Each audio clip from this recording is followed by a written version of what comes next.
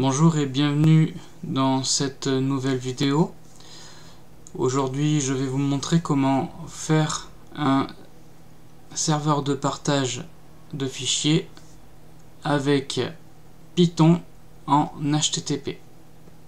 C'est en gros un serveur web qui va être utilisé pour partager les fichiers que vous avez sur l'ordinateur où vous hébergez ce serveur et donc euh, pouvoir y accéder sur votre réseau local à l'aide simplement d'un navigateur. Donc pour cela, j'ai créé un programme avec la possibilité de soit partager le dossier utilisateur par défaut, soit la possibilité de partager un dossier que vous allez lui spécifier. Donc pour ce premier cas, nous voyons ici que nous avons besoin de l'adresse IP pour pouvoir l'entrer ensuite dans le navigateur pour contacter le serveur. Donc pour cela, j'ai utilisé la commande IP adresse en filtrant le résultat et en lui disant de récupérer seulement l'adresse IP. Adresse IP que j'ai récupérée ainsi que un port que je lui ai spécifié pour pouvoir déterminer une adresse euh, une adresse web pour pouvoir accéder au serveur.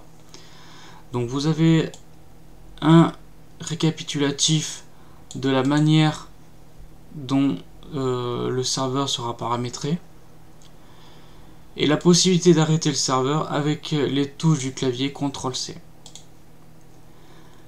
Bon, la commande magique, c'est celle-ci. Comme je vous ai dit, elle utilise le langage Python 3. Donc, euh, dans le langage Python 3, nous allons utiliser pour ce tutoriel le module http.server en lui spécifiant un port spécifique pour éviter euh, tout conflit réseau dans, votre réseau local et donc euh, aussi les donner la directive directory pour lui spécifier le, répertoire utilisateur à euh, partager.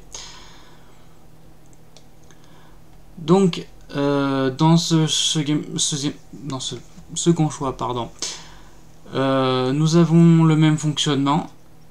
En revanche, vous avez ici une demande qui vous est faite, c'est de spécifier le chemin du répertoire que vous souhaitez partager. Donc dans ce cas-là, le programme va récupérer le chemin du répertoire que vous allez lui donner et donc l'intégrer dans sa commande Python 3 pour pouvoir euh, faire un lien web direct à ce répertoire. Donc pour la petite démonstration, nous voici dans le terminal de Linux. Par défaut, mon programme est exécutable mais je vais quand même vous montrer au cas où que celui-ci ne l'est pas. Vous euh, téléchargez le programme avec le lien que je vous spécifie dans la description et euh, suite à ça vous devez euh, faire un chmod en lui disant qu'on veut ajouter les droits d'exécution sur http char.sh qui sera le nom du fichier que vous aurez téléchargé. Du coup, ici, l'attribution des droits sera bon. Vous pouvez quand même spécifier, euh, regarder si vous voulez euh, les droits avec le ls-l. Ici, nous pouvons voir que le X se retrouve un peu partout, donc on est bon. Et nous allons donc lancer le programme hop, avec point slash http. Nous voici donc dans le serveur HTTP de partage de fichiers. Vous avez donc comme je vous ai expliqué la possibilité de partager le dossier utilisateur par défaut ou de spécifier le répertoire à partager. Donc pour le répertoire par défaut utilisateur on appuie sur 1, on valide par entrée. Vous voilà, donc avec le partage de slash home slash adrien, qui est dans mon cas mon répertoire utilisateur, qui sera accessible avec euh, l'adresse IP euh, de l'ordinateur euh, serveur en 127.0.0.1 ou localhost, de point le port. Et sinon, sur votre réseau local, vous, aurez accès à votre serveur de partage avec l'adresse IP 192.168.1.13 dans mon cas, à travers le navigateur sans oublier 2.4444 pour spécifier le port. Donc c'est ce que nous allons voir tout de suite avec le navigateur ici Firefox. Donc nous saisissons l'adresse IP du serveur avec les deux points 4444 pour spécifier le serveur Python et nous avons donc listé tous les fichiers et répertoires du dossier euh, slash home slash Adrien.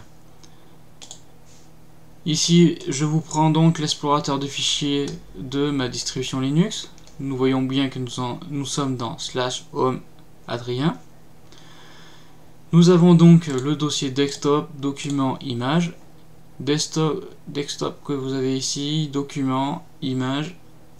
Donc euh, vous avez l'intégralité des fichiers répertoires qui sont correctement listés.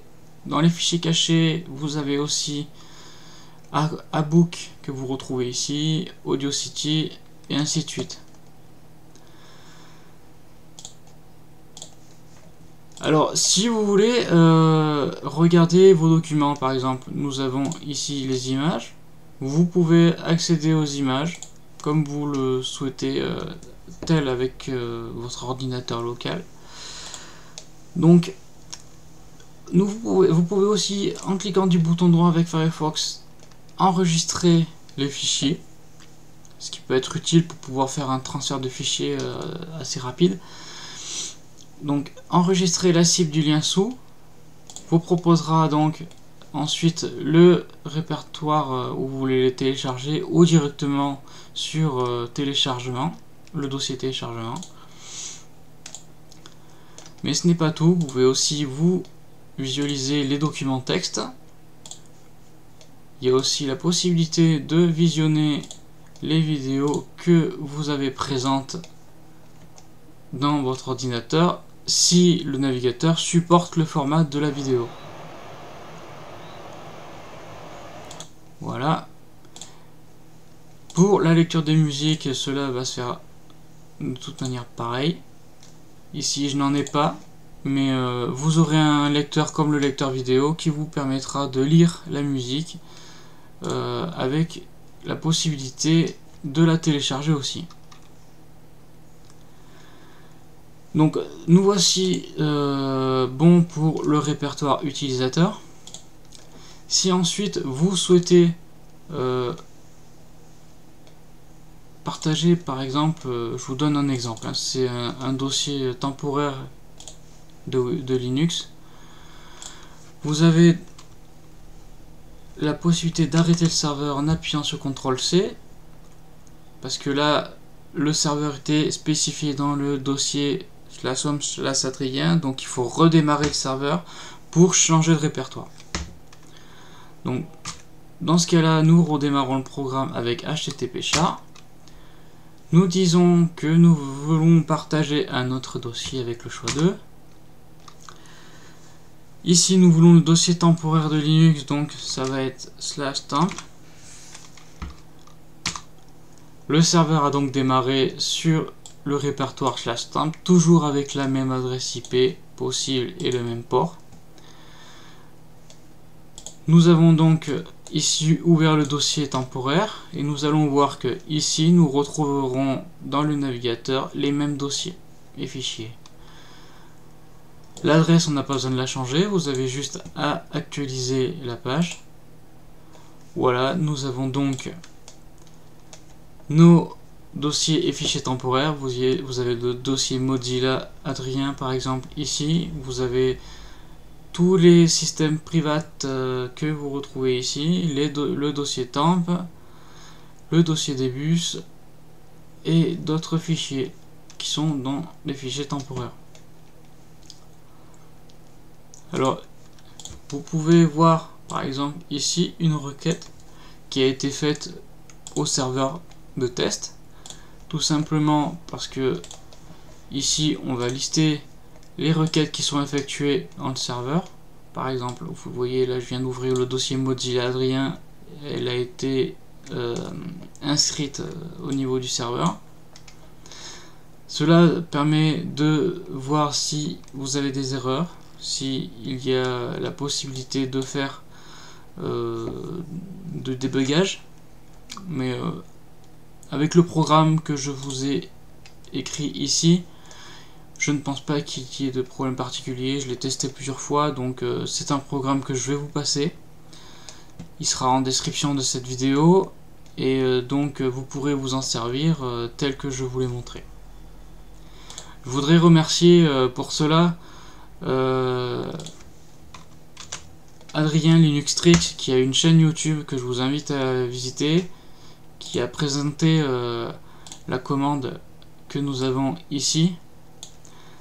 Et euh, donc cette commande, euh, honnêtement, je l'ai trouvée très sympa. Donc c'est pour ça que j'ai voulu euh, faire en sorte d'améliorer un peu sa fonctionnalité pour que ça soit beaucoup plus simple à utiliser. Voilà, j'espère que cette vidéo vous aura plu. Et je vous souhaite une bonne visite sur doaou.fr en espérant vous revoir dans une prochaine vidéo.